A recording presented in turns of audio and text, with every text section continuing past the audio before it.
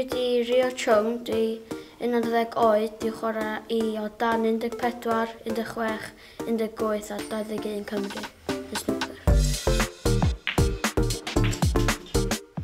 Dwi di ennill um, pedwar o dan 14 um, Welsh Snooker Championships. Uh, dwi rhif 1 yn o dan 14 a rhif 3 yn o dan 18. Be mwynhau am snwcer ydy mae'n fel ymlaciol a mae fel challenge bach pa, pan ti fel eisiau chwarae. Yeah.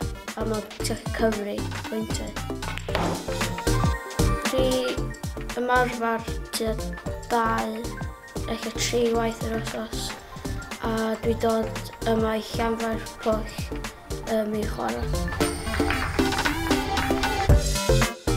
mis nesaf, uh, dwi'n mynd lawr i Llanelli i chwarae yn erbyn i Werddon yn y Celtic Challenge a y mis awst uh, dwi'n mynd i chwarae yn yr Dwi'n mynd i chwarae yn y pencampwriaeth y byd o dan 17 a 21 yn India. Os ti eisiau chwarae, trio mwynhau.